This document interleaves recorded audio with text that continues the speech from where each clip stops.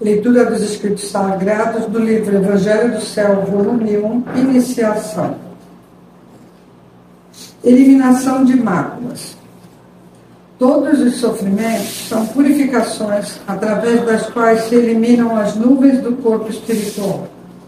Há, porém, uma diferença enorme entre a penitência e o ascetismo, praticados pelos religiosos existentes e os importunos que batem à porta sem que ninguém o busque. Aqueles são procurados de uma forma consciente, isto é, a pessoa faz questão de sofrer intensamente para elevar-se, enquanto da purificação não há como fugir, além de ser uma maneira muito melhor de aprimorar, extingue mais facilmente as nuvens do corpo espiritual, possibilitando ao ser humano enxergar claramente a realidade como consequência, abre o satori, o que significa, em síntese, saber distinguir o verdadeiro do falso. A messiânica que pertence à era do dia ensina a não haver necessidade de penitência ou ascetismo para eliminar as máculas e modificar o pensamento.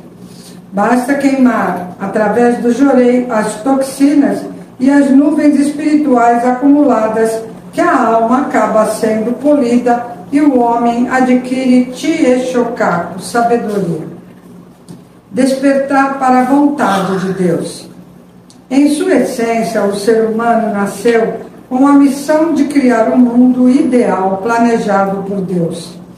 Quando então alguém se esforça para cumprir o que a vontade suprema determinou, fica livre de doenças e demais sofrimentos para poder executar o seu trabalho com alegria.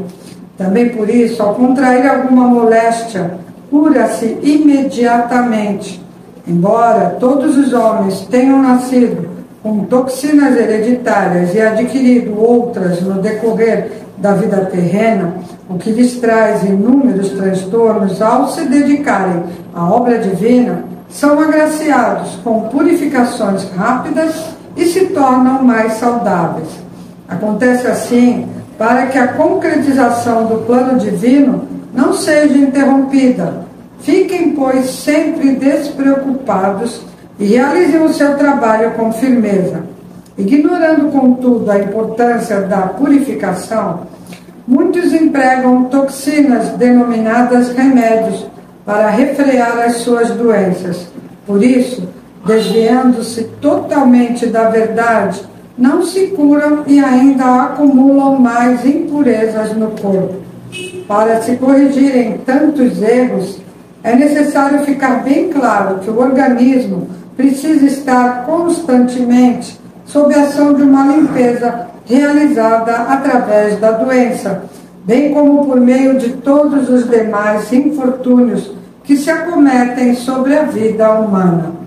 Partindo desse princípio, terão moléstias nos olhos, por exemplo, aqueles que pecarem enganando os outros pela visão.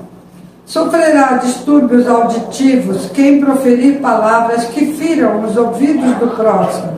Poderá também enfrentar doenças na língua ou relacionadas à fala.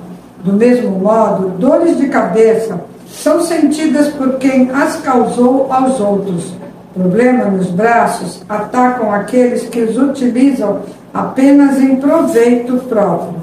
Da mesma forma, outras doenças poderão surgir de acordo com a lei da sintonia, que determina o aparecimento de uma ação purificadora nas partes do corpo onde se verificar o acúmulo de toxinas ou de máculas espirituais.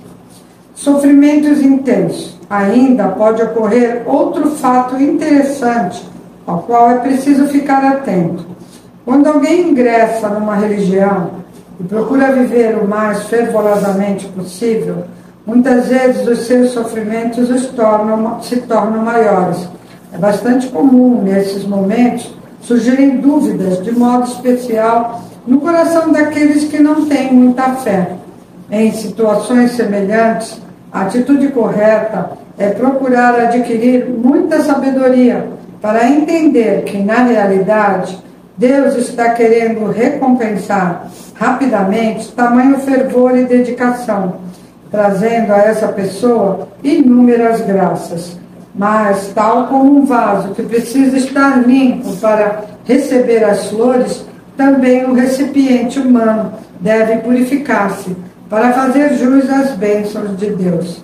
Portanto, nessas circunstâncias, se o religioso for capaz de suportar com paciência todo o processo de purificação, receberá no final graças acima de qualquer expectativa.